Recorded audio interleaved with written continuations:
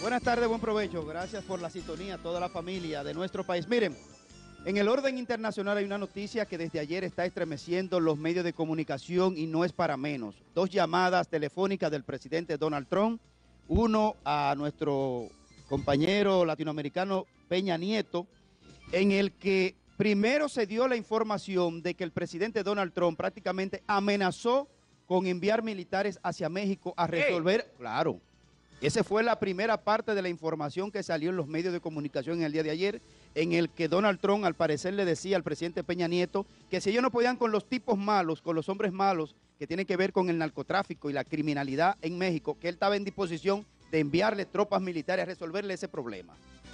Luego, con esa especulación y ese tipo de debate que ¿eh? se dio en el día de ayer, se tuvo que buscar la transcripción en la conversación entre el presidente Donald Trump y el presidente Peña Nieto.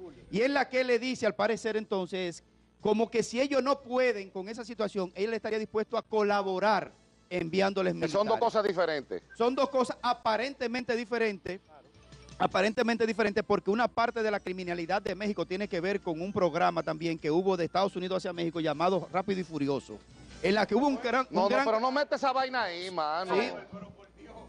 Bueno, Rookie, tú puedes decir lo que tú quieras, pero el programa Rápido y Furioso era un cargamento de armas Sí, con un microchip que iba hacia México supuestamente para que sean llegados los criminales de México y darle seguimiento a las armas. Ah, pero caray, se perdieron, se desaparecieron del radar y todas esas armas se quedaron en México. Armaron Y- a los delincuentes. Y fueron a manos de los delincuentes. Esa es la verdad.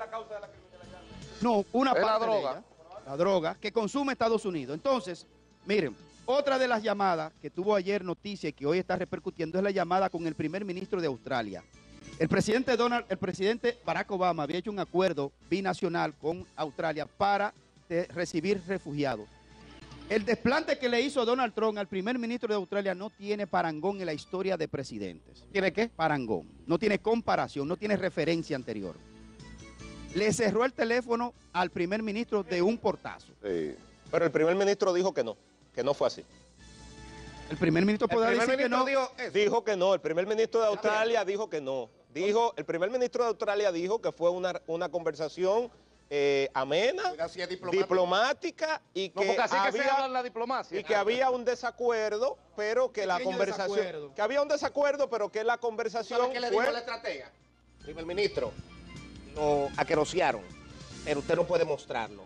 Porque eso le quita. Eso es peor Sí, todavía. le quita, le quita. Eso es fuerza. una teoría, Iván, es una Entonces, teoría. No, claro, es una Sí, sí, una especulación. una No, teoría. no, pero el, el papel del el analista. ministro No, pero diga perdón. que, que todo fue muy bien, que yo qué, que usted, pero jamás en la vida que lo aquerosearon. Si el analista no arriesga la inferencia, el análisis de lo que no se ve no es analista, está dando noticias simplemente. y son diferentes. Exactamente. Oíste, Rookie. El Sí, sí, analista claro. tiene que arriesgar. ¿Cómo es? ¿Cómo es Ventura? Pero Ventura se está metiendo en todo hoy, El ¿qué? analista tiene que arriesgar su opinión a futuro. No, no, pero es que yo estoy totalmente de acuerdo con mi compañero Graimer. Yo estoy totalmente de acuerdo con mi compañero Graimer. Ahora, los hechos son los siguientes. La prensa norteamericana sensacionalista que tiene una guerra abierta con Donald Trump ha dicho que le cerró Mal el que le, guerra. no, va ganando Trump porque él es el No, no, presidente. mal ganada, Sí, no va ganando. Trump Mira. porque el presidente es él. ¿Cómo tú te llamas? Sí. Ángel, mira.